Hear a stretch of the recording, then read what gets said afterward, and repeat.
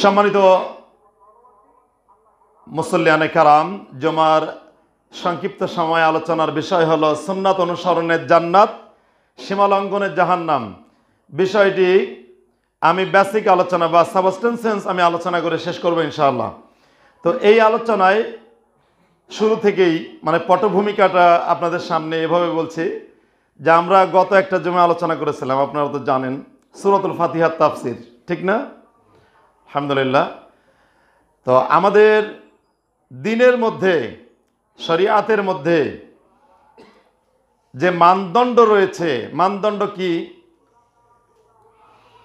চোখ বন্ধ করে যদি এই পৃথিবীর কোনো ব্যক্তিকে কেউ অনুসরণ করতে চায়, পৃথিবীর কোনো ব্যক্তিকে অনুসরণ করতে চায় মানে ভাই আমি ডাইনে বামের সামনে পিছে বুঝি না।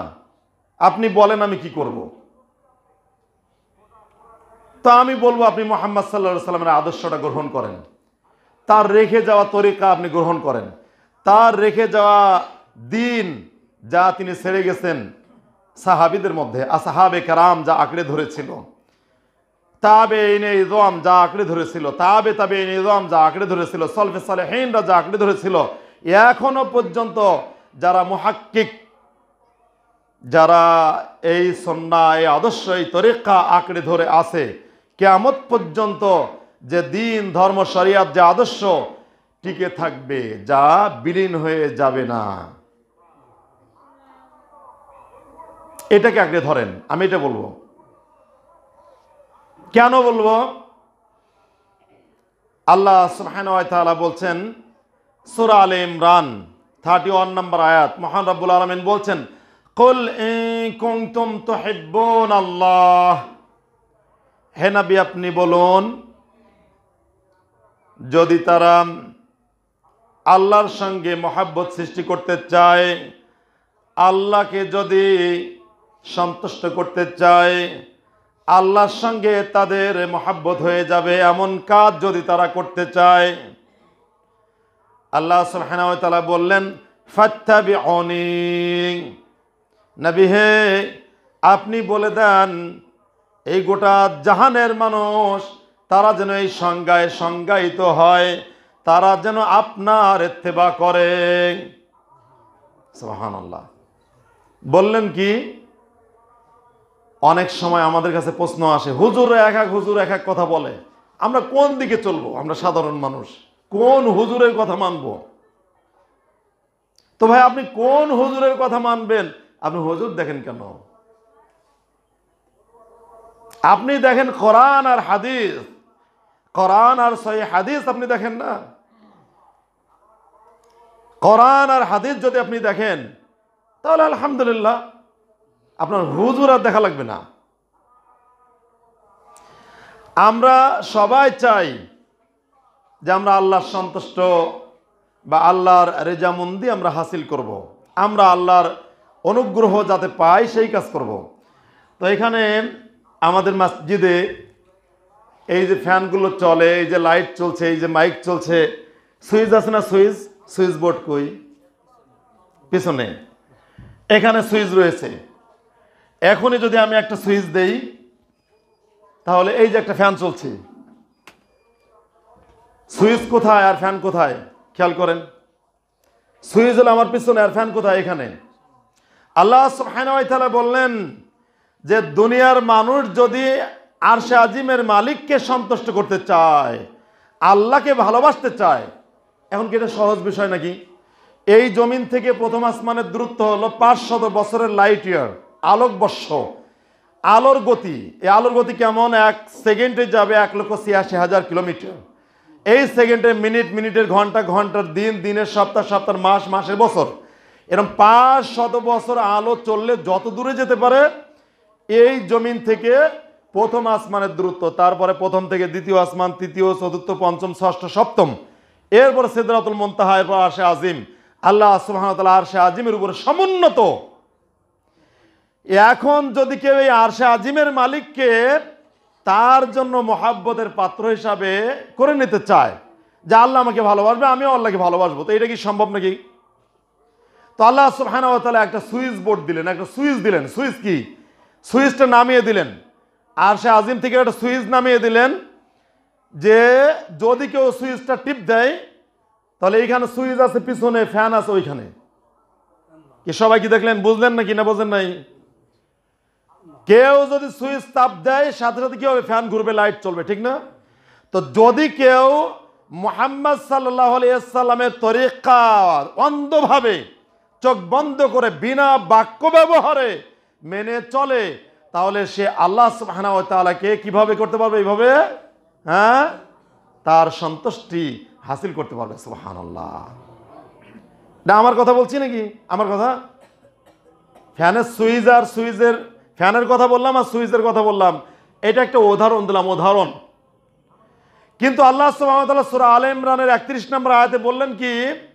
বললেন, নবী, যদি কেউ কি করে ইংকুংতুম ইংকুংতুম তো হেব্বন আল্লাহ দেখছেন? এক শ্রেণির মানুষ বিশাল বড় দেয়ালে লিখে রাখছে, আমার তো চোখে পড়ে, আপনারা দেখেন কিনা জানি না। লিখে রাখছে, বিশ্ব আশেকে রসুল। লিখে রাখছে না? বিশ্ব আশেকে রসুল মানে গোটা পৃথিবীর মধ্যে এরাই রসুলের আশেক। আর আপনি, আমি কি? আপনার আমরা কিছুই না। বুঝছেন? কথা বলছেন তো নাকি? আমরা কিছুই না। ওরাই হলো বিশ্ব আশেকে রসুল। এত বড় করে লিখছে। কত টাকা যে খরচ হয়েছে আল্লাহ জানে। আবার কি? আপনি মাহফিল করেন একদিন, দুই দিন, না হলে তিন দিন। কিন্তু দেখেন, দেওয়ানবাগি, দেওয়ানবাগ, পাক দরবার শরীফে তেষট্টি দিন ব্যাপী। কতদিন? তেষট্টি দিন ব্যাপী জসমে জুলুস চলছে, মাহফিল চলছে। আপনি যদি জিজ্ঞাসা করেন, কেন তেষট্টি দিন? বলছে, আল্লাহ নবী আসলাম তেষট্টি দিন, তেষট্টি বছর হায়াত পেয়েছিল। তা আমরা তেষট্টি দিন ধরে মাহফিল করব। দেখছেন কত মহাব্বত? আর আপনি একদিন মাহফিল করছেন, দুই দিন করছেন নাহলে তিন দিন করছেন। তো তাদের মহব্বতটা দেখছেন কেমন? যেমন তেষট্টি দিন ধরে মাহফিল করছে। আর আপনি, আমি একদিন, দুই দিন, তিন দিন। বিশাল বড় দেয়ালিকা, বিশ্ব আশিকের রসুল। কিন্তু আল্লাহ সুহামতাল কি বললেন? যে যদি তারা আমাকে ভালোবাসতে চায় তাহলে তাদেরকে আপনি বলুন, একটা সুইচ আপনি তাদেরকে শিক্ষা দেন, এই সুইচটা যেন মুখস্থ রাখে। যদি এদিক সেদিক কি করে, চাপাচাপি করে, তাহলে কি হবে না? যদি এই ফ্যান আমি হাত দিয়ে ঘুরাই, তাহলে ঘুরবে? কিছুক্ষণ ঘুরবে। কিন্তু ওইটাই বাতাস হবে? এই লাইট আমি কি ইচ্ছা করে চালাতে পারব? সুইচ না চাপ দিলে চলবে? চলবে না। তো আল্লাহ সুবহানাহু ওয়া তাআলা তিনি বললেন যে, নবী ফাইত্তাবি অনি তারা যদি আপনার ইত্তেবা করে তারা আল্লাহর সন্তুষ্টির পাত্র হয়ে গেল, আল্লাহর সঙ্গে তাদের মহাব্বত হয়ে গেল, সুবহানাল্লাহ।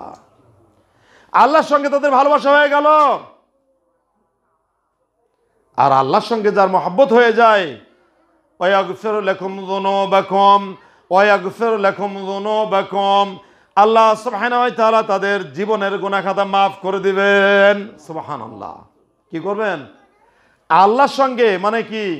আল্লাহর সঙ্গে যদি কারোর মহাব্বত হয়ে যায়, আপনার বন্ধু ছোটবেলা থেকে একসঙ্গে বেড়ে উঠেছেন, একসাথে লেখাপড়া, একসাথে বাজার ঘাট হ্যাঁ? যদি বন্ধু ভুল করে, কি করবেন? আচ্ছা যা, এটা কোনো ব্যাপার না মাফ করে দিলাম ধর।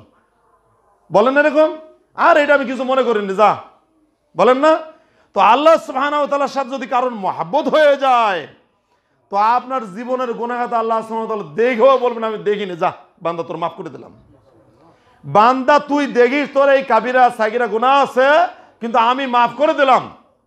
কোরআন আয়াতের অনুবাদ করছি, ওয়াগফিরু লাকুম যুনুবাকুম। হ্যাঁ তোমাদের যা পাপ আছে, আমি তা মাফ করে দিলাম। মাফ করে দিলাম দিলাম অল্লাহ গফরুর রহিম। আর যারা নাবির এত্তেবা করবে, তারা শেষ দিবস পর্যন্ত কেয়ামতের দিন জান্নাতে জান্নাতিরা জান্নাতে চলে যাবে, জাহান্নামের জাহান্নামে চলে যাবে। এর পরেও এর পরেও যদি কারোর খালেস নবীর উপরে ইমান থাকে, নবীর উপরে তেবা থাকে, কোনো বেদাতে তার আপোষ না থাকে, তাহলে আল্লাহ জাহান্নামের ভিতর থেকেও টেনে বের করবেন। জাহান্নামের ভিতর থেকেও টেনে বের করবেন। টেনে বের করে জান্নাতে দিবেন। বুঝতে পেরেছেন? কিন্তু যদি কারোর নবীর প্রতি এরকম আশেকে রসুল মানে কি, আশেক বোঝেন তো? আশেক মাসুক। মানে বলছে, আমি আমি আল্লাহ রসুলের প্রেমিক। আশেক মানে কিন্তু আসক্ত ব্যক্তি। এটা হলো অবৈধ কথা। আশেক ইস্ক এর অর্থ হলো মানে একজন পুরুষ, একজন মহিলা। বিবাহ ছাড়া যে সম্পর্ক হয় আমরা সেই শব্দটাকে সবাই জানি প্রেম বলে। বলেন এটা? এটা অবৈধ কথা। কিন্তু স্বামী স্ত্রীর সম্পর্ক, এটাকে কি বলে? প্রেম বলে, এটা ভালোবাসা বলে, মোহাব্বত বলে। হব্বন শব্দটা এসেছে। কি আসছে? হব্বন মানে মোহাব্বত। আল্লাহ ওই কথা দিয়েই বলেছেন যে যদি তারা আমাকে ভালোবাসতে চায়, তাহলে আপনি বলুন ফাত্তাবি উনি তারা যেন আপনার ইত্তেবা করে, আর যদি আপনার ইত্তেবা করে ইউহবিবুকুমুল্লাহ ইউহবিব ইউহবিবুকুমুল্লাহ তারা আল্লাহর মাহবুব বান্দা হয়ে যাবে, সুবহানাল্লাহ। আল্লাহর আশেক হবে না, কি হবে? আল্লাহর মাহবুব বান্ধ হবে। মানে আল্লাহ তাকে ভালোবাসবে, আর সেও আল্লাহর ভালোবাসার পাত্র হয়ে যাবে, সুবহানাল্লাহ। কিন্তু এরা বলল কি, এরা আশেকে রসুল। মানে রসুলের সাথে প্রেম করতে চায়। বুঝছেন? তো আমরা আল্লাহ সুবহানার কাছে এই এরাদা আমরা রাখছি যে আল্লাহ সুবহানাল্লাহ যেন আমাদের আমৃত্যু পর্যন্ত নবীর পথের পথিক হয়ে আমাদের কায়েম দায়েম রাখেন, আমিন। প্রিয় হাজরিন, জাহান্নামীরা জাহান্নামে, জান্নাতীরা জান্নাতে চলে যাবে। শোনেন আল্লাহ নবী সাল্লাহ আলাইসাল্লাম বলছেন যে, রদিত বিল্লাহি রব্বা ওয়াবিল ইসলামী দিন ওয়াবি মুহাম্মাদিন সাল্লাহ আলিয়াল্লাম নবিয়া বা অরসোলা কেউ যদি কেউ যদি আল্লাহকে রব হিসাবে পেয়ে সন্তুষ্ট থাকে, মোহাম্মদ সাল্লাহ সাল্লামকে নবী হিসাবে পেয়ে সন্তুষ্ট থাকে, আর ইসলামকে তার জীবন ব্যবস্থা হিসাবে পেয়ে সন্তুষ্ট থাকে, আর এই ইমানটা এক সরিষা দানা পরিমাণ হয়। কত? এক সরিষা দানা পরিমাণ হয়। সহিউল বুখারিতে বাবু ফাজলুস সজুদ, সিজদার ফজিলাত অধ্যায় হাদিসটি এসেছে। আপনি বুখারি শরীফ দ্বিতীয় খণ্ডে হাদিস পাবেন, তিনশত দশ নম্বর অনুচ্ছেদ।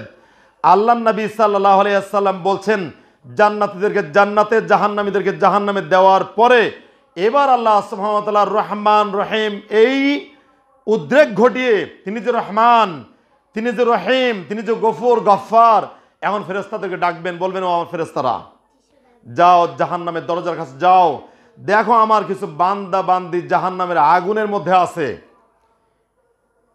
যাদের এক সরিষা দানা পরিমাণ ইমান আছে, তাদেরকে জাহান নামের আগুন থেকে টেনে বের করো, তাদেরকে নিয়ে আসো। ফেরেস্তারা যাবে। যে দেখবে আদম সন্তানের মাথা থেকে পা পর্যন্ত অঙ্গ প্রত্যঙ্গ, পুরা অঙ্গ প্রত্যঙ্গ পুড়ে কালো কয়লার মতো হয়ে আছে, কিন্তু সিজদার জায়গাগুলো ব্যতীত। বলেন সুবাহান আল্লাহ এই ললাট, এই নাসিকা, এই দুই হাত, দুই হাঁটু, দুই পা পা দিয়ে আমরা এইভাবে করে হাঁটি, ঠিক না? কিন্তু যখন সিজদা দেই, তোর পায়ের আঙ্গুলগুলো এইভাবে মাটিতে দিয়ে পায়ের আঙ্গুলের মাথা দিয়ে সিজদা করি। হাঁটু এখন এইভাবে আসছি, কিন্তু সেজদা দেওয়ার সময় হাঁটুটা এইভাবে মাটিতে শক্তভাবে লেগে রাখি, লাগিয়ে রাখি আমাদের শরীরের ওয়েটটা। হাঁটুতে লেগে থাকে, হাঁটুতে আমাদের চিহ্ন আছে না যারা সেজদা দেই? আছে না নেই? হ্যাঁ? জাহান নামের আগুন। এই অঙ্গ প্রত্যঙ্গগুলো পোড়াইতে পারবে না। নবী সাল্লা সাল্লাম বলছেন, বিয়া আসার সুজুদি হার্রাম আল্লাহ আলান নার। জাহান নামের আগুনকে বলেছে? আল্লাহ সুবাহানা সৃষ্টির দিনই। হে জাহান্নাম, তোমার জন্য আমার খালেস, মুখলিস বান্দা যারা যারা শুধু আমাকেই সিজদা করেছে, তার সিজদার জায়গা তুমি পুড়াইতে পারবে না। এটা তোমার জন্য হারাম, নিষেধ। সুবহানাল্লাহ। এখন আপনাকে বলছি, সিজদা যদি নবীর তরিকা না হয়, তাহলে ওই সিজদা কি আল্লাহ কবুল করবে? হ্যাঁ? অনেক ভাই সিজদা দেয়, সিজদার সাথে হাঁটু, এই কনুইটাও সিজদা দেয়। অনেক মা বোন সিজদা দেয়। সিজদায় এই হাত, হাতের পাতা এবং হাতের কনুই সহ এভাবে শরীরের সাথে লেগে একেবার যেন এক জায়গায় জেপটে সিজদা দেয়। এই সিজদা নিষেধ, এটা বেদা। এই সিজদা সন্না মাফিক হয়নি। এই সিজদা হবে না, সেজদা কিন্তু সলাতের মধ্যে ফরজ। কারও সেজদা না হলে তার সলাত হবে? হবে না। মা বোনদের বলছি, সতর্ক, সাবধান হয়ে যান। সেজদা দেওয়ার সময় আটটা অঙ্গ প্রত্যঙ্গ লাগবে, কিন্তু এই নাকটাকে, নাসিকাটাকে, ললাটের সঙ্গে এক করা হয়েছে। অর্থাৎ সাতটা। এই দুইটা মিলে একটা, আর এই দুইটা তিনটা, এই দুইটা পাঁচটা, আর নিচে পা দুইটা, সাতটা। এই সাতটা অঙ্গ জমিনে স্পর্শ করে সেজদা দিবে, কিন্তু এই কোন দুইটা মাটি স্পর্শ করবে না। পেটের নিচে দিয়ে ফাঁকা থাকবে, একটু দূরে যে সিজদা দিতে হবে। এইভাবে যদি কেউ সিজদা না দেয়, তাহলে তার সেজদায় কখনো জাহান নামের আগুন থেকে তাকে বাঁচাতে পারবে না। আর যখন এই অবস্থা হবে ফেরেস্তারা দেখে, চিনতে পারবে যারা শুধু আল্লাহর সন্তুষ্টির জন্য এই জমিনে সেজদা দিয়েছিল। এক সরিষা দানা পরিমাণ ইমান থাকলেও ইমান, সরিষা দানা বলা হয়েছে কেন? কটটুক সরিষা দানা। কতটুকু সরিষা দানা? কিন্তু এবার আপনাকে বলি, আবু মোসা আলাস আরি রদি আল্লাহ তালা আনহু, তিনি বলছেন যে আত্মহর শত্রুল ইমান আলহামদুলিল্লাহি তামলাউল মিজান, সুবহানাল্লাহি আলহামদুলিল্লাহি তামলান। আও তামলাউ বাইনাস সামাওয়াতি ওয়াল আরদ। যদি কেউ পবিত্রতা অর্জন করে, তাহলে সে জেনে রাখুক পবিত্রতা অর্জন, এটা কি ইমানের? ইমানের কি? ইমানের অর্ধেক বা ইমানের? ইমানের অংশ। শত্রুল ইমান, পবিত্রতা অর্জন করা, এটা ইমানের গুরুত্বপূর্ণ একটা অংশ। বলে এবার বললেন কি? যে আলহামদুলিল্লাহ তামলাউল মিজান। যদি কেউ আলহামদুলিল্লাহ বলে মিজানের পাল্লা যেদিকে দিবে ওই দিকেই তার নেকিটা পরিপূর্ণ হয়ে যাবে, সুবহানাল্লাহ। এরপরে কি বললেন? ওয়াল সুবহানাল্লাহি, ওয়ালহামদুলিল্লাহি তেমলান। হ্যাঁ? বাইনা সামাওয়াতি আসমান আর জমিন একটু আগে না বললাম? পাঁচ শত বছরের রাস্তা। এটা কিন্তু বুখারী শরীফের হাদিস। এই জমিন থেকে এই প্রথম আসমানের দূরত্ব কতটুক পাঁচ শত বছরের আলোর গতি লাইট ইয়ার আলোকবর্ষ এই পুরা ফাঁকা জায়গাটা কতটুক জায়গা হবে একটু চিন্তা করেন। এই জমিন থেকে আসমান, প্রথম আসমানের দূরত্ব পাঁচ শত বছরের আলোকবর্ষের পথ। এই পুরা ফাঁকা জায়গাটা আল্লাহ সুবহানাহু সুবহান আল্লাহ আলহামদুলিল্লাহ বললে নেকি দিয়ে পরিপূর্ণ করে দিবেন একবার। দেখলেন? কতবার আমরা সুবহান আল্লাহ বলছি, আলহামদুলিল্লাহ বলছি, কিন্তু এক সরিষা দানা পরিমাণ ইমান থাকলে সে জান্নাতে যাবে। আল্লাহ তাকে জাহান্নামের ভিতর থেকে টেনে বের করে আল্লাহর সামনে যে জীবিত পানির নদী থাকবে, হায়াতুল মা, এখানে ছেড়ে দেবে। ছেড়ে দেওয়া হবে তাদের। ছেড়ে দেওয়ার পরে আল্লাহ নবী সাল্লাম বলেন, গ্রীষ্মের খরতাপে যেমন জমিন ফেরে চৌচির হয়ে যায়, মনে হয় এই জমিন থেকে কৃষক আর কখনো ফসল উৎপাদন করতে পারবে না।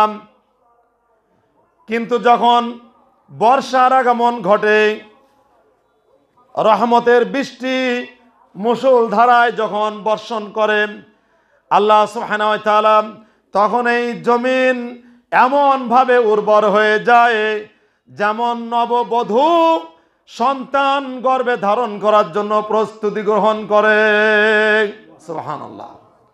ঠিক এভাবেই এই জমিন থেকে ফেটে চৌচির হয়ে যাওয়া জমিন। দেখেন না, কোনো কিছুই নেই। হাঁটতে গেলেও পায়ে ব্যথা লাগে, জমিনটা শুকিয়ে এরকম হয়ে যায়। কিন্তু এবার যখন বৃষ্টি নামে, এইখান থেকে এবার তৃণলতা, সবুজ ঘাস বিভিন্ন শস্য, ফসল খাদ্যদ্রব্য খাদ্য উদ্ভিদ এখান থেকে গজিয়ে ওঠে। আল্লাহ নবী সাল্লা সাল্লাম বলছেন, ওই জাহান নামে থাকা জাহান নামের আগুনে থাকা, ভিতরে থাকা ব্যক্তিদেরকে যখন আল্লাহ সুহান সামনে যে নদীটা থাকবে, ওইখানে তাদেরকে ছেড়ে দেওয়ার পরে তারা এভাবে করে গজিয়ে উঠবে, নতুন হয়ে যাবে। তাদের মাথা থেকে পায়ের আঙ্গুল পর্যন্ত কোথাও পোড়া কাটা ফাটার চিহ্ন থাকবে না সুবহানাল্লাহ। তাদের জন্য জান্নাতের ফয়সাল্লা হয়ে যাবে ইমান কট্টুক ছিল সরিষা দানা পরিমাণ আল্লাহ সুবহানাহু ওয়া তাআলা বলেন الذي خلق الموت والحياة ليبلوكم أيكم أحسن عملا আল্লাহ ওয়া বলেন, হায়াত আর মৃত্যু আমি তোমাদের দিয়েছি।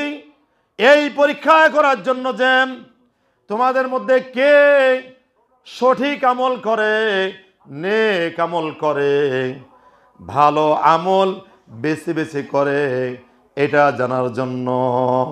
আহসানু আমালা, তিনি বলেননি আখতারু আখতারু আমালা, এটা তিনি বলেননি যে আমি বেশি আমল কে করে এটা আমি জানব।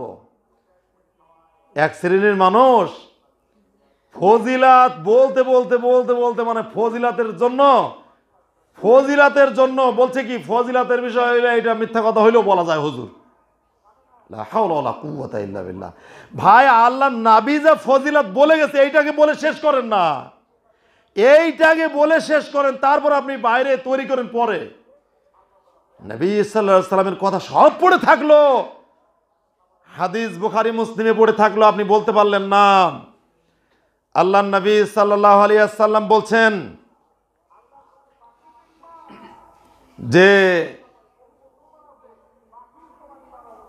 এরবাজ ইবনে সারিয়া রাদি আল্লাহ তালা তিনি হাদিস বর্ণনা করে বলছেন যে আল্লাহ নবী সাল্লাহ সাল্লাম বলছেন, আমি ঘুমিয়ে আছি, একদল ফেরেস্তা আসলো। একদম সংক্ষেপে বলছি, একদল ফেরেস্তা আসলো। আমাকে ঘুমান্ত অবস্থায় পেল। বলতে লাগল যে যার জন্য আমরা নসিহাত করতে এসেছি, সে তো ঘুমিয়ে আছে। আরেক দল বলছে, ঘুমিয়ে আছে, তার চোখ ঘুমায়, তার অন্তকরণ জেগে আছে। হুম? এবার বলছে কি, যে অন্তকরণ জেগে আছে আচ্ছা তাহলে নসিহাত করা যায়। এবার নসিহাত করা শুরু করছে। বলছে, এক ব্যক্তি বেনা দারা এক লোক একটা ঘর নির্মাণ করল এবং একজন দায়ী, একজন আহ্বানকারী নির্বাচন করল।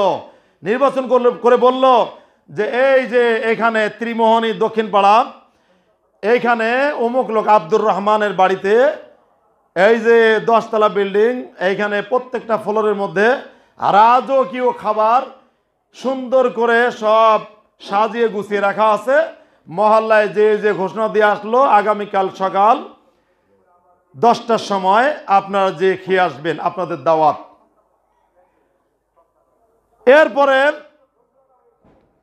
বললেন যে যে লোকটা এই দাওয়াত দানকারীর আহ্বানকারীর আহ্বানে সাড়া দিল মানে কবুল করে নিল, বিশ্বাস করল, সে ঠিক পরের দিন সকাল দশটায় এই ঘরে চলে আসলো, ঘরে প্রবেশ করল এবং এই খাবার খেলো। এই খাবার সে গ্রহণ করতে পারল। আর যে এই কথা মানে আহ্বানকারীর আহ্বানে সাড়া দিল না, মনে করল, আরে আব্দুর রহমানের বাড়িতে কে বলেছে খাবার? ওই লোক বললে আমি বিশ্বাস করব? এটা আমি বিশ্বাস করি না। মানে বিশ্বাসটা পুরাপুরি আসেনি। সে লোক পরের দিন সকালে আব্দুর রহমানের বাড়িতে আসবে? আসবে না। আরে কি এটা? আমার বিশ্বাস হয় না। এটা সম্ভব নয়। আর আমি এটা মানি না।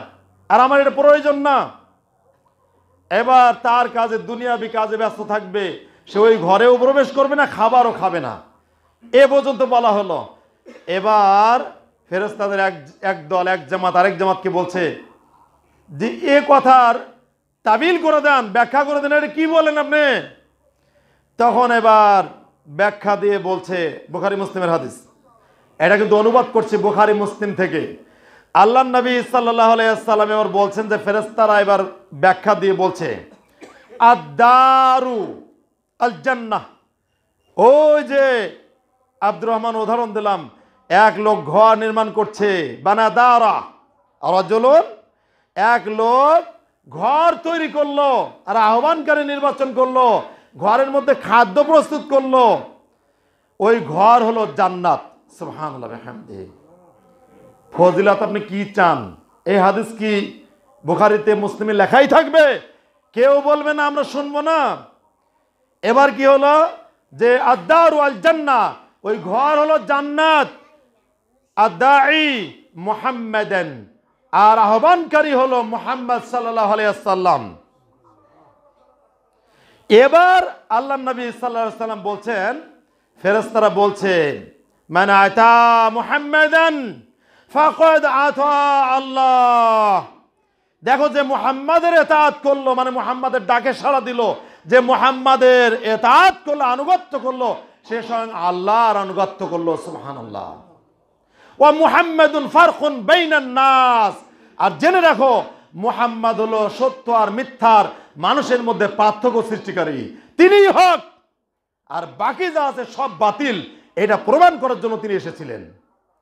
তিনি আসার পরে যদি আবার কেউ মনে করে, আর আমি মোহাম্মদ সাল্লামের তরিকাও মানি, আবার চরমুনাইও মানি, আমি মোহাম্মদ সাল্লামের তরিকাও মানি, আবার আট রশি, পাঁচ রশি, নয় রশি, শরিয়াতপুরি, আবার মাঝভান্ডারি আবার দেওয়ানবাগি হ্যাঁ আবার মাঝহাবের তরিকার ইমামদেরকেও আমি মানি। সিস্তিয়া, সাবেরিয়া তরিকা, শর্টকাট তরিকার জান্নাতের রাস্তা। হ্যাঁ এটাও আমি মানি। হবে? হ্যাঁ? আল্লাহ নবী সাল্লাম সম্পর্কে কি বললেন? ওয়া মুহাম্মাদুন ফারকুন বাইনান নাস। মুহাম্মদ সাল্লাল্লাহু আলাইহি সাল্লাম সত্য আর মিথ্যার পার্থক্যকারী। এটা তো বুখারী মুসলিমের হাদিস বলছি। এটা বুখারী মুসলিমের হাদিস বলছি। সূরা বাকারা খোলেন। সূরাতুল বাকরা খোলেন। দুই শত ছাপ্পান্ন নম্বর আয়াত, আয়াতুল কুরসির পরের আয়াত। আল্লাহ তাআলা বলছেন, লা ইকরাহা ফিদ্দিন দিনের ব্যাপারে বাড়াবাড়ি, জবর, জবরদস্তি নেই। কত্তাবাইয়ানা রুশদ মিনাল গই। কেন? এই জন্য জবরদস্তি নেই। হক আর বাতিল, সত্য আর মিথ্যা হ্যাঁ? ইনসাফ আর গরিনসাফ কোনটা সঠিক আর কোনটা বেঠিক, এটা স্পষ্ট হয়ে গেছে সূর্যের, সূর্য উদয়ের মতোই। সুবহানাল্লাহ। মক্কা বিজয়ের পরে যখন আল্লাহ নবী সাল্লাম বাইতুল্লাহ ঢুকলেন, আর লাঠি দিয়ে মূর্তিতে আঘাত করলেন আর বললেন, কুল জাল আজহাকাল বাতিলু, ইন্নাল বাতিলা কানা জাহুকা। নিশ্চয় সত্য এসেছে সত্য এসেছে আর মিথ্যা পরাজিত হয়েছে, পরাভূত হয়েছে। আর অনন্তকালের জন্য মিথ্যা, পরাভূত হওয়ারই, পরাজিত হওয়ারই। এ কথা বললেন। এ অতএব কি বোঝা যায়? সত্য স্পষ্ট হয়ে গেছে। বলে এবার আল্লাহ তাআলা বলছেন কি? ফামাই বিত্তাগুত ওয়া ইউমিন বিল্লাহ। তোমরা তাগুতকে কুফরি করো আর আল্লাহর প্রতি ঈমান আনো। যদি কেউ আল্লাহর প্রতি ঈমান আনে, আর যত তাগুত আছে মূর্তি বলেন আর মানব রচিত সংবিধান বলেন, আর ব্যক্তি পূজা বলেন, আর মাঝাব পূজা বলেন, আর পীর পূজা বলেন, আর ইমাম পূজা বলেন, এগুলোকে যারা বাদ দিতে পারে, শুধু আল্লাহকেই একনিষ্ঠভাবে তার রব হিসাবে মেনে নিতে পারে। কি? ফামাইয়াকফুর বিত্তাগুতি আল্লাহর প্রতি যার দিল ঈমান থাকবে, এই মর্মে যে আমি তগুতকে কুফরি করলাম আর আল্লাহর প্রতি আমার ইমান একনিষ্ঠভাবে নিয়ে আসলাম, যেভাবে তিনি তার পাকে কালামে নির্দেশ দিয়েছেন। কীভাবে নির্দেশ দিয়েছেন? আমা উমিরুম ইল্লা লিয়াবুদুল্লাহ মুখলিসিনা লাহুদ্দিন।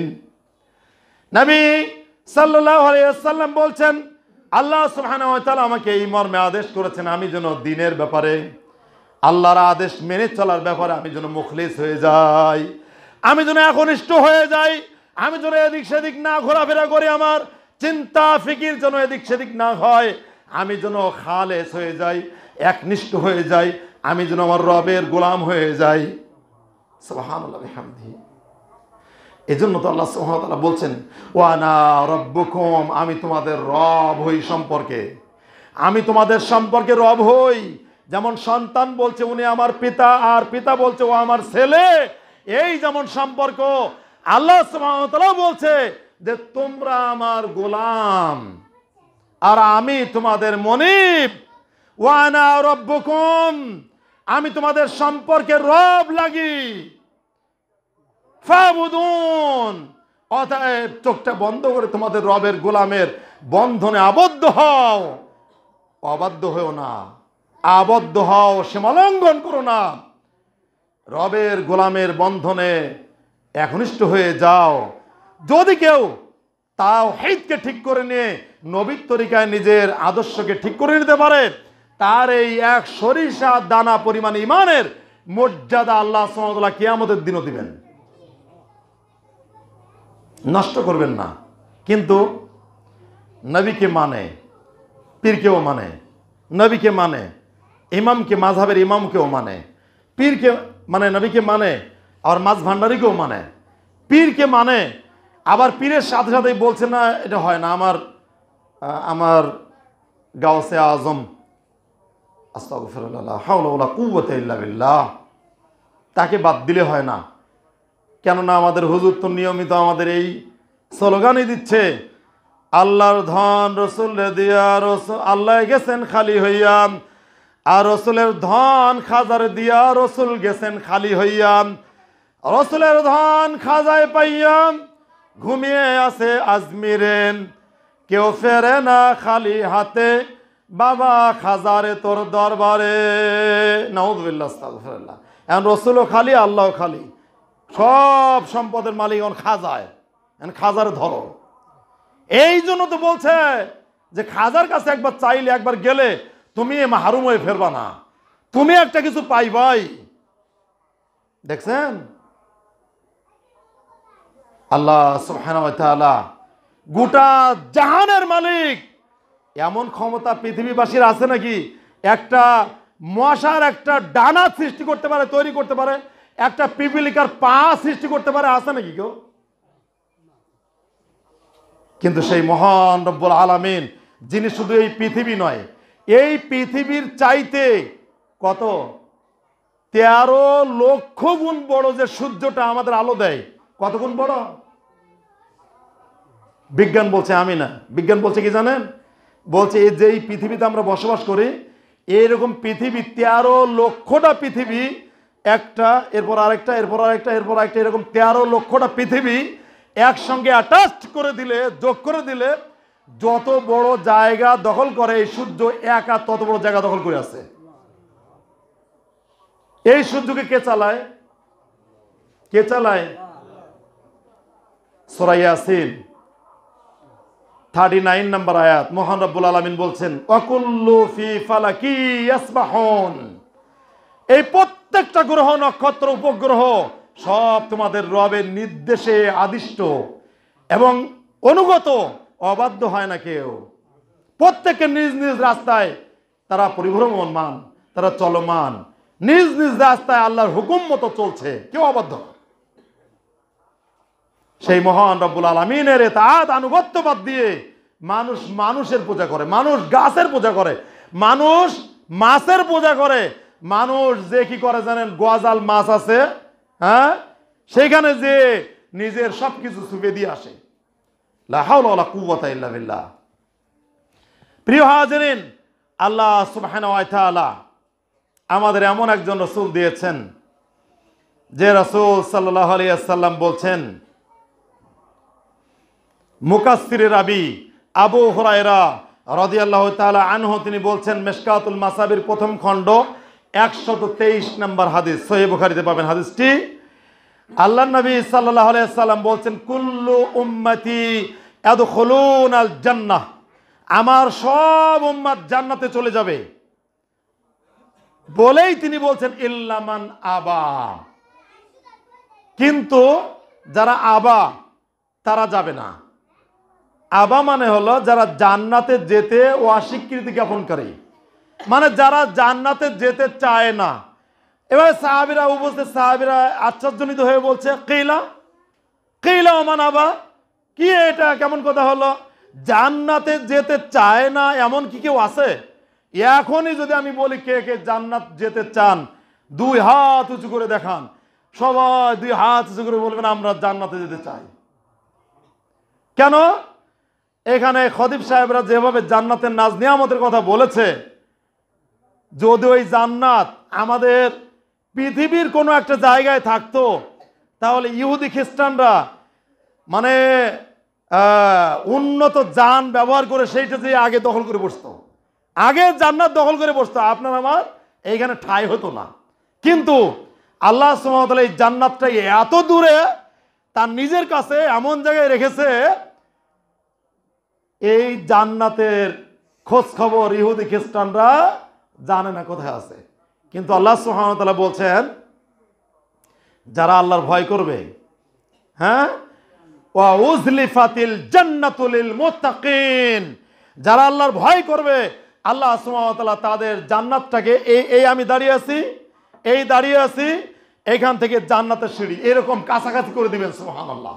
যে মৃত্যুর পরে আল্লাহ সুবহানাহু তার জান্নাতটা যাওয়ার জন্য অনেক দূরে হাঁটতে হাঁটতে ক্লান্ত, শ্রান্ত হয়ে যাবে ঘরমাক্ত হয়ে যাবে, এমনটা না। জান্নাত তার নিকটে চলে আসবে, কিন্তু এখন জান্নাত কোথায় আছে?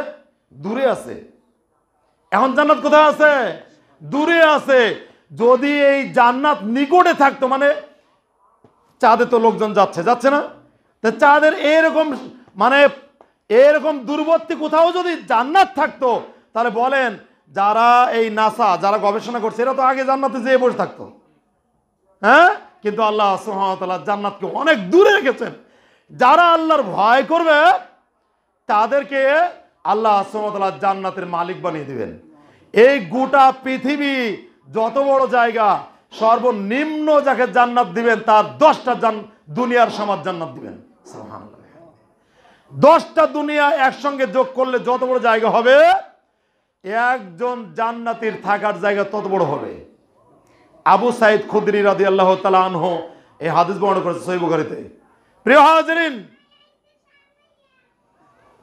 আল্লাহ নবী সাল্লাহ আলাইসাল্লামের সাহাবিরা আশ্চর্যজনিত হয়ে বললেন যে রাসূলুল্লাহ, আপনি যে বলছেন জান্নাতে যেতে যারা চায় না, ওরাই জান্নাতে যাবে না, আর সবাই জান্নাতে চলে যাবে, তো আমাদের বুঝেই ধরে না যে জান্নাতে আবার যেতে চাবে না কারা? তখন এবার আল্লাহ নবী সাল্লাহ আলাইসাল্লাম বলছেন, কালা আনি। দেখো, যারা নিজেরা নিজেদের শৌর্য বীর্য, নিজেদের বড়ত্ব, অহংকার, দাম্ভিকতা, নিজেদের নিজ প্রভাব, প্রতিপত্তি সব কিছুকে আল্লাহ নবীর এত্তেবার কাছে একবার তুচ্ছ হেও মনে করেছে। নবী বলেছে, মেনে নিলাম। আল্লাহ বলেছে, মেনে নিলাম। আল্লাহ নবী বলেছে, আর কোনো কথা আমি এখানে বলতে পারি না। হ্যাঁ? ওমা কান আলী মুমিনি ওয়ালা মুমিনাতিন ইদা রাসূলুহু আমরা।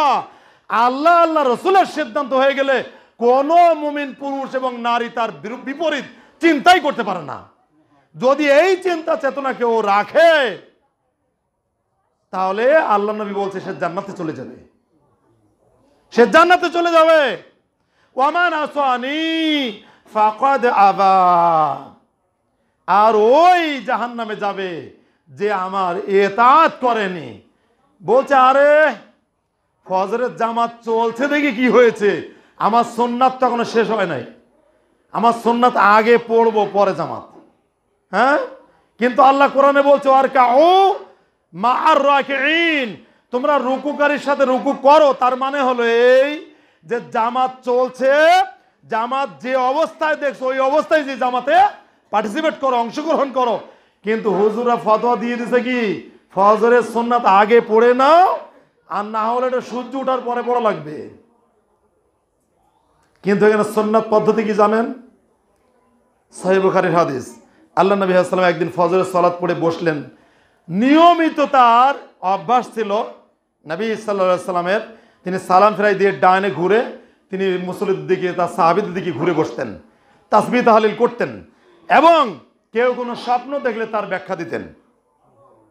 বুঝতে পেরেছেন? আল্লাহ নবী সাল্লাহ সাল্লাম ঘুরে বসে দেখলেন একজন সাহাবি, তিনি জামাতে সলাৎ পড়ে আবার যে সলাৎ শুরু করেছে।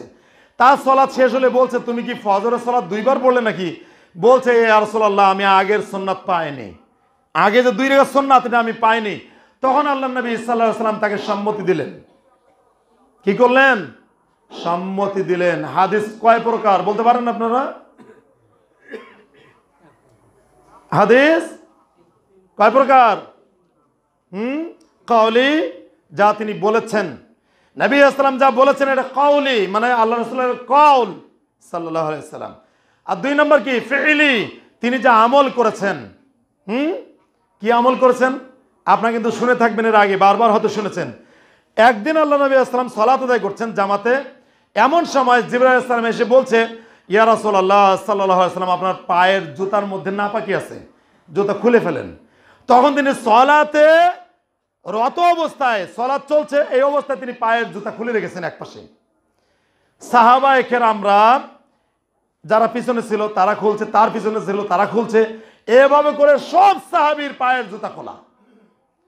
এবার তিনি সালাম ফিরাই দিয়ে ওই যে ঘুরে বসলেন, দেখলেন যে সাহাবিদের জুতা খোলা। বললেন যে, কি ব্যাপার? তোমাদের পায়ের জুতা খোলা কেন?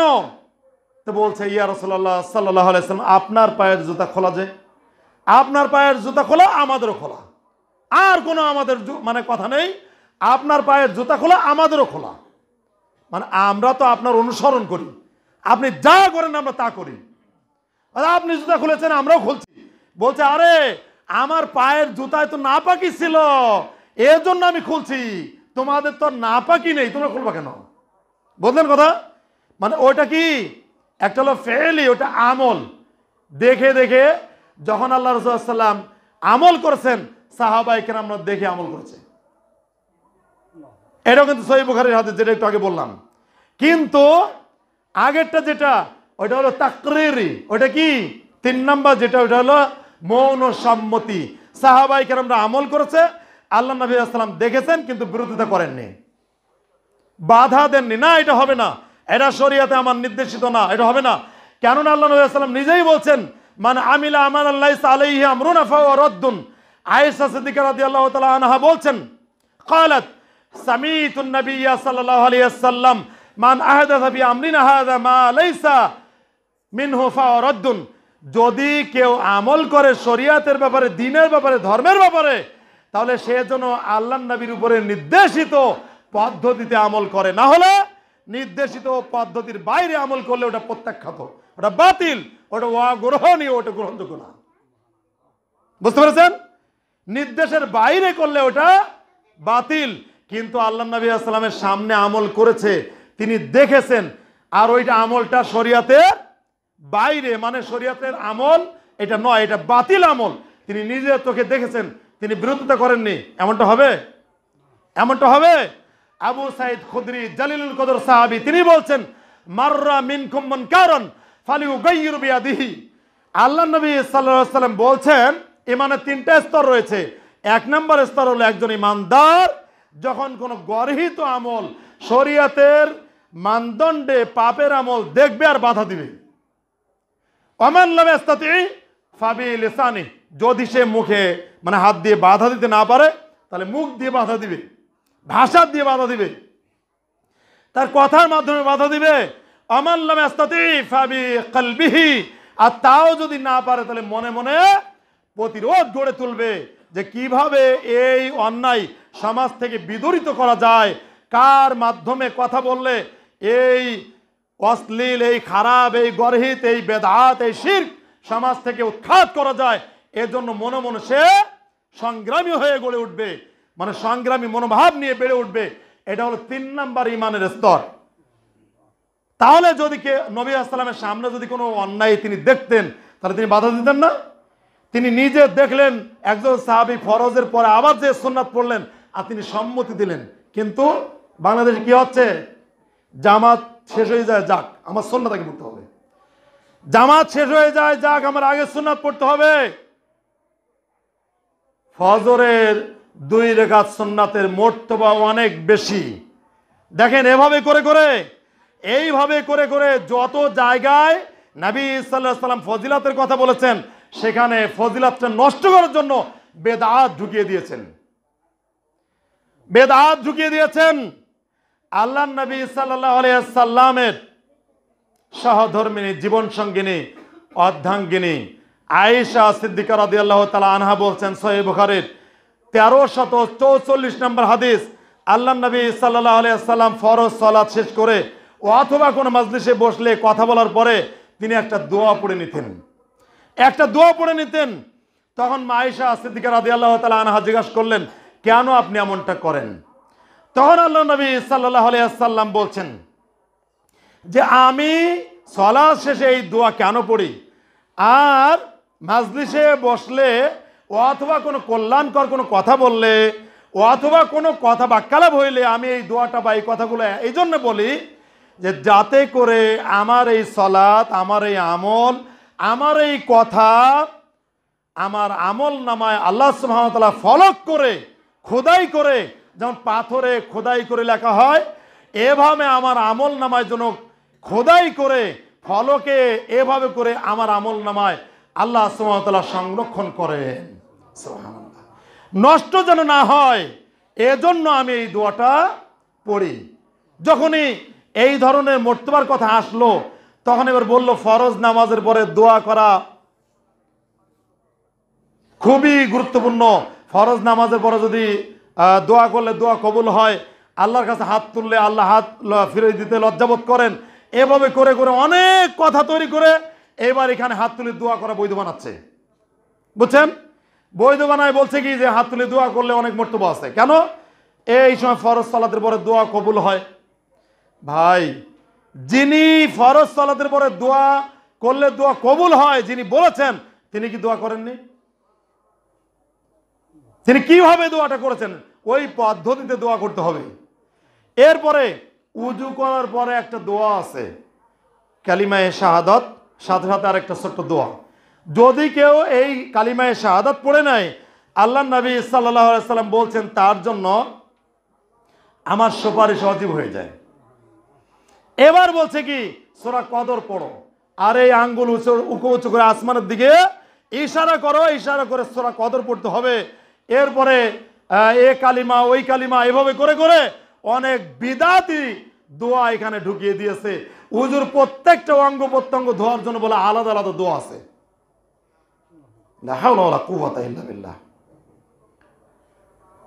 এরপরে দেখেন, আপনার সলাতের সলাতের ভিতরে আমরা যে দাঁড়ানোর পরে একটা দোয়া পড়ি, সানা।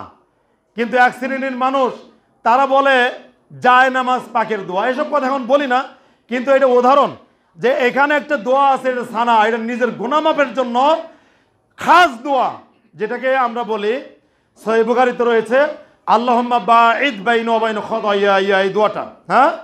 আবু হরাইরা রাদিয়াল্লাহু তাআলা আনহু, তিনি বর্ণনা করেছেন এই হাদিস। কেরাত আর তাকবীরের মাঝে এই দোয়াটা হবে। কিন্তু জায় নামাজ পাক করার জন্য একটা দোয়া। ইন্নি ওয়াজ্জাহাতু ওয়াজহি আলিল্লাযী ফাতার আস-সামাওয়াতি ওয়াল আরদ। হানিফা ওমা, ওমাকা- ওমা আনা মিনাল মুশরিকিন। এই দোয়া, এই কোরআনের আয়াত, সূরা আনামের আয়াত আয়াত দিয়ে বলছে যে এইটা হলো জায় নামাজ পাকের দোয়া। মানে কি? এইখানে একটা বানোয়াটি কথা এখানে তৈরি করে দিল। সলাতের নিয়ে তৈরি করে দিল। এইভাবে করে করতে করতে সোননাথের যত জায়গায় স্তর আছে সোননাথের জায়গায়, যেমন তাসবি পড়বেন, আঙ্গুলের জিরায় জিরায় কেয়ামতের দিন আং, হাত কথা বলবে। সোরা ইয়াসিন পঁয়ষট্টি নম্বর আয়াত আল ইয়ামানাহদিমু আলা আফওয়াহিহিম ওয়া তুকাল্লিমুনা আইদিহিম ওয়া তাশহাদু আরজুলুহুম বিমা কানু ইয়াকসিবুন। হ্যাঁ? কিন্তু হাত কথা বলবে আর বলল কি তাসবিদা নাই, গুনতে হবে, না হলে নাকি গুনাহ ঠিক হয় না, ভুল হয়ে যায়। এভাবে করে করে যত জায়গায় সন্ন্যাত আছে, পাশাপাশি বেদাত তৈরি করা হয়েছে। এজন্য যেন পায়ের সাথে পা লাগানো, বুকে হাত বাঁধা, হরফল আদাইন করা, সোরা ফাতিহা পড়া হ্যাঁ? এরপরে সলাদটা, পুরো সলাদটাই নষ্ট করার জন্য এটা গত যেমন আলোচনায় আপনাদের স্মরণ করিয়ে দিয়েছিলাম যে সৌরাতুল ফাতিহাটাকে এক শ্রেণির মানুষ হিংসাত্মকভাবে বলছে যে সোরা ফাতিহার পড়ার কোনো প্রয়োজন নেই, মুক্তাদিদের জন্য এটা পড়া লাগবে না। লক্ষ লক্ষ মানুষের সলাৎ নষ্ট করে দেওয়া হচ্ছে। বুঝতে পেরেছেন? যে সোরা ফাতিহা পড়া লাগবে না। যেখানে চার ইমামে তিন ইমাম বলছে, সোরা ফাতিহা পড়তে হবে। আরে ভাই, সংখ্যাগরিষ্ঠতার দিক দিয়ে যদি চার ইমামের যদি ইমামও ফলো করেন, তো তিন ইমামের মত মানে? একজনেরটা বাদ দেন। তো তাহলেও তো আপনার অগ্রগণ্য হয় কি? যে পড়তে হবে। আর আল্লাহ নবী সাল্লা সাল্লাম নিজে তো বলেছেন, বলেছেনই বারবার। ইমাম বুখারি গুরুত্ব দিয়ে বিষয়ে একটা কিতাবই লিখেছেন জুজুল কেরাত, একটা বই লিখেছেন তিনি। প্রিয় হাজিরিন, এভাবে করে যেমন মনে করুন, এই যে সালাম ফেরানোর আগে বা বৈঠকে বসে একটা দোয়া আছে, মাহফিলের শেষে হাত তুলে দোয়া করা হয়, কিন্তু মাজলিসের, মাজলিস ভঙ্গের কাফারার দোয়া কি? ওই যে হাদিসটি বললাম আপনার সহি বুখারির তেরো শত চৌচল্লিশ নম্বর হাদিস। সুবহানাকা আল্লাহুম্মা বিহামদিকা, আশহাদু আল্লা ইলাহা ইল্লা আনতা, আস্তাগফিরুকা ওয়া আতুবু ইলাইক। যদি কেউ এই দোয়াটা পড়ে, তার যত ক্ষুদ্র যত বড় আমলই হোক, আল্লাহ তার আমল নামায় লিপিবদ্ধ করবেন, লিখে রাখবেন, তা নষ্ট করবেন না। আর যদি কোনো ভুল ত্রুটি হয়, তা আল্লাহ ক্ষমা করে দিবেন, কাফফারা করে দিবেন। কিন্তু এবার হুজুর বলছে কি আরে যারা দোয়া করে না, এরা কাঠ মোল্লা। হ্যাঁ? এরা তোমরা দোয়া করবে না, এটা আমার জানা আছে। আরে হুজুর, দোয়া করে দেন। দোয়া করে দেন, গুনাহ হলে আমার হবে। এভাবে করে এখনও পুরো- মানে পর্যন্ত এরকম আছে, মাহফিলের মধ্যে হট্টগোল লাগিয়ে দেওয়া হয়। যে যারা দোয়া করে না এই সমস্ত হুজুরদেরকে দাওয়াতি দেওয়া হয় না, আলেমদেরকে দাওয়াতি দেওয়া হয় না। বলা হয়, এরা এখনও এরা এখনও দিন, ধর্ম, শরিয়াত বোঝে নাই। এতগুলো মানুষ বছরে একদিন এক জায়গা হলো ঈদের মাঠে, একটু হাত তুলে দোয়া করে দিবে। আমরা কি এত দোয়া শিখেছি নাকি, হুজুর? আমরা তো ব্যবসা বাণিজ্য নিয়ে ব্যস্ত আছি। আপনি একটু দোয়া করে দেন, আমরা আল্লাহ আমিন বলি। তো একদিন, বছরে একদিন এক জায়গা হইলাম, আপনি ওই দিনও আমাদের দোয়া দোয়া করা থেকে আপনি বঞ্চিত করবেন। তো এই হুজুরের দরকার নেই। ওস্তাইতে ক্লাস সিক্সে পড়া সেভেনে পড়া বাদাম বিক্রেতা, যে রব্বানা আতিনা, রব্বানা জলাম নাং ফোসানা পারে, ওই ওই ছোট ছেলেটা ওই ইমামতি করবে। কিন্তু ওই মাদানি হুজুর লাগবে না। দরকার নেই, লাগবে না। বুঝতে পেরেছেন? এই হলো সমাজের চিত্র। এই জন্য আমরা বলব যে সোননাথ পেলেই সাহাবাই কেরামদের মতো আমল করতে হবে, আর বেদাত পেলেই সাথে সাথে কি করতে হবে? কথা বলছেন না কেন? বেদাত দেখলেই কি করতে হবে? একদিকে সোননাথের উপরে অটল অবিচল থাকা আর একদিকে সোননাথ ত্যাগ বেদাত ত্যাগ করা। এটাকে কি বলে জানেন? একটা হলো একটা সোননাথকে মেনে চলা আর একটা হলো আপনার একটা আছে সোননাথের তারকিয়া। তারকিয়া হলো এই যে সমস্ত সোননাথ আল্লাহ নবী সাল্লাহ সাল্লাম ছেড়ে দিয়েছেন মানে তরক করেছেন, ওইগুলো আপনি, আমি যদি ছেড়ে দেই, তাহলে ওইটা আরেকটা সোননাথ হবে। মানে ওটা ছেড়ে দেওয়া সোননাথ একটা মানা সোননাথ আর একটা ছেড়ে দেওয়া সোননাথ এখন আপনার সংক্ষিপ্তভাবে এই সংজ্ঞা আমরা আপনাদের সামনে পেশ করলাম। যে আল্লাহ নবী আসসালাম যা করেছেন, তা করতে হবে। আর যা ছেড়ে দিয়েছেন, তা ছেড়ে দিতে হবে। আল্লাহ ওয়া আমাদের এই যোগ্যতা সকলকে দান করুন। সাথে সাথে আজকের সংক্ষিপ্ত আলোচনায় সুন্নাত অনুসরণের জান্নাত। আল্লাহ নবী বলছেন মান হাব্বা সুন্নতি ফাকদ হাব্বানি ওয়ামান হাব্বানি কান মাই ফিল জান্নাহ। যে আমার সুন্নাতকে ভালোবাসলো, সে যেন আমাকেই ভালোবাসলো। আর যে আমাকে ভালোবাসলো, সে আমার সঙ্গে জান্নাতে থাকবে। সুবহানাল্লাহ। মান আহিয়া সুন্নতি ওয়ামান হাব্বানি যে আমার সুন্নাতকে জীবিত করল, সে যেন আমার সুন্নাতকে ভালোবাসলো। ওয়ামান হাব্বানি আর যে আমার সুন্নাতকে ভালোবাসলো, কান মাইয়া ফিল জান্নাহ। সে আমার সঙ্গে জান্নাতে থাকবে। আল্লাহ নবী সাল্লাম এভাবে বারবার বলেছেন যে সোননাথকে অবজ্ঞা করবেন না। সতেরো রাকাত ফরজ সলাত আর দিনে রাতে চব্বিশ ঘন্টায় বারো রাকাত সোননাথ সলাত। জোহরের আগে চার রাকাত, পরে দুই রেখাত ফজরের আগে দুই রেখাত মাগরিবের পরে দুই রেখাত ঈশার পরে দুই রেখাত এই মোট বারো রাকাত, বিতর সলাতে এক রেখাত তিন রেখাত পাঁচ রেখাত সাত রেখাত নয় রেখাত এভাবে করে রাতের সলাত যেটুকু সম্ভব আপনার, যদি সম্ভব হয় আট টাকা তিন টাকা পড়বেন। আর যদি সম্ভব না হয়, যদি না পারেন, অন্তত রাত্রে ওঠা অভ্যাস করেন, চার রেখাত শুরু করেন। চার রেখাত দিয়ে শুরু করেন। না পারেন, অন্তত রাত্রে উঠে উত্তম রূপে উঁচু করে দুই রেখাত সলাত আদায় করে আল্লাহর কাছে কান্নাকাটা করেন। আল্লাহ সুহামতাল্লাহ আপনার, আমার এই রাত্র জাগরণকে, রাত্রে ওঠাটাকে আল্লাহ সুহামতাল্লাহ কবুল মঞ্জুর করুন, আমিন। এমনি করে দৈনন্দিন জীবনে সমস্ত আমল যেন আমরা সুন্নাভাবে করতে পারি, বেদাতকে বর্জন করতে পারি, আল্লাহ ওয়া আমাদের সকলকে সেই যোগ্যতা, সেই তৌফিক দান করুন, আমিন। অকুল কওলি হাযা, আস্তাগফিরুল্লাহ লি ওয়া লাকুম ওয়া লিসাইল মুসলিমিন। বারাল, বাক, বারাকাল্লাহু লানা ওয়া লাকুম ফিল কুরআনিল আযীম। ওয়া নাফা'না ইয়্যাকুম বিল আয়াতি ওয়াজ যিকরিল হাকীম ফাইন্নাহু তাআলা